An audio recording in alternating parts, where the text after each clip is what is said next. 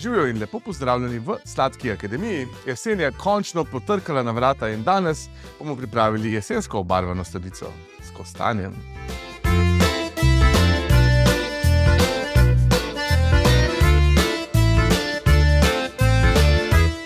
Zmešali bomo kuhan kostan, belo čokolado, dodali malce arome ruma in še nekaj začimb in nastali bodo tele čudoviti kostanjevi trufleji, ki je kot da bi ugriznil v en sladek kuhan kostan s kakavom. Angolo.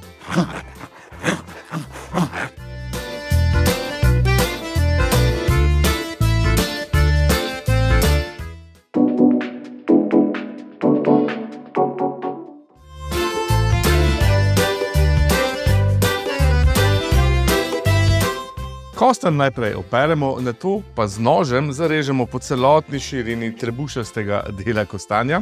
Vmes vodo segrejemo do vretja, eh, pri rezanju kostanja pa pazimo le toliko, da zarežemo res samo skozi lupino, ne pa pregloboko v meso. V vodo dodamo lupino ene pomaranče, jo segrejemo do vretja in vanjo stresemo kosten.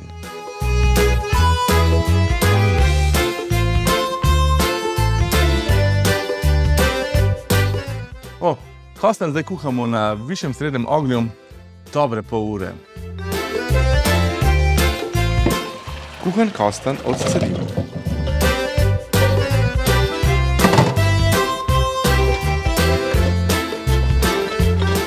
Ko je kosten kuhan in še vroč, pustimo toliko časa, da para z površine kostanja izšlepi in se kosten posuši. Na to ga pa stresemo na čisto krpo in ga pokrijemo, kajti hočemo, da kosten ostane topel in tako ga bomo lažje olupili.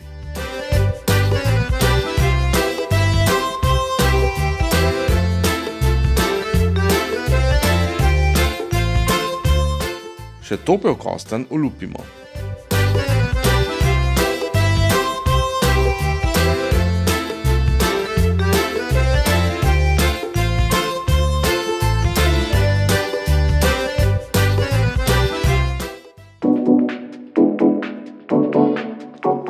Ohlajen in olupljen kosten stresemo v multipraktik in ga zmiksamo v fin prah.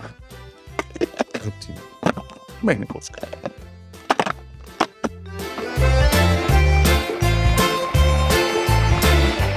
Kosten zmiksamo v prah in ga prestavimo v skledo.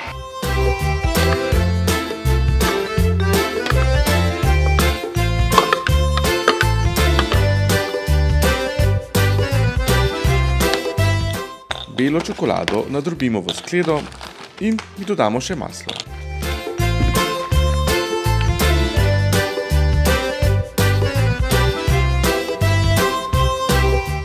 Belo čokolado in maslo bom jaz zdaj stopil v mikrovalovni. Kadar topimo čokolado v mikrovalovni, damo vedno jakost nekje na 40%, pa vedno čokolado dobimo v krajših intervalih, tam max 30 sekund. Vmes pa premešamo. Če pa nimate mikrovalovne, pa uporabite kar vodno kopel.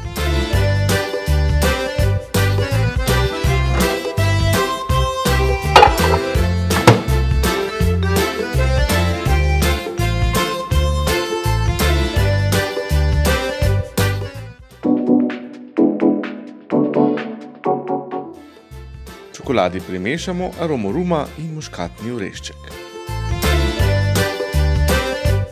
Stopljeno čokolado in maslo sem začinil z nekaj malega arome ruma. Tale, ki jo imajo v Lidlu, je res intenzivna, tako da ne pretiravajo, dodamo jo nekje pet kapljic, šest mogoče, in pa noter imamo še dva ščepa muškatnega oreščka. Tole premešamo in preprosto vse prelijemo čez kostanjevo maso. Potem smo pa skoraj že pri koncu naših truflejev.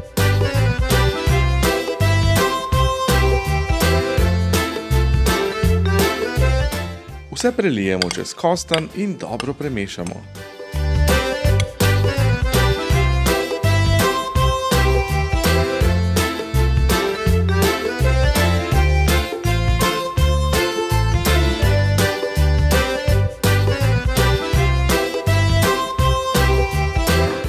Odstavimo v hladilnik za približno 15 minut.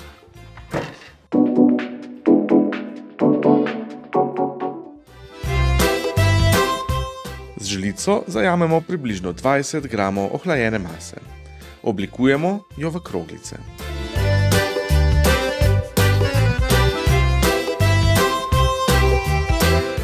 Zdaj vzamemo pa še lešnikov krokant. To so preprosto lešniki, ki so praženi na malce večje koščke, nasekljani in karamelizirani. Tole bo full fino, ker bo dodalo hrustljavo teksturo. Kakšen preline, pa pa samo še kakao dodamo in smo.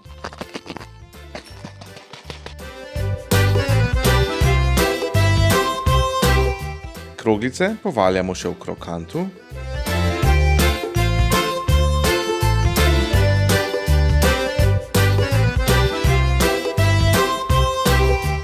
Nato pa jih povaljamo še v temnem kakavu.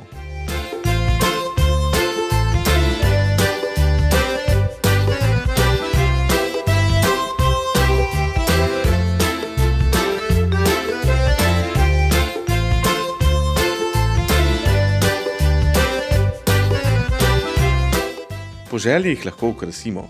Jaz sem uporabil zlat prah, ker me spominja na pisane barve jeseni.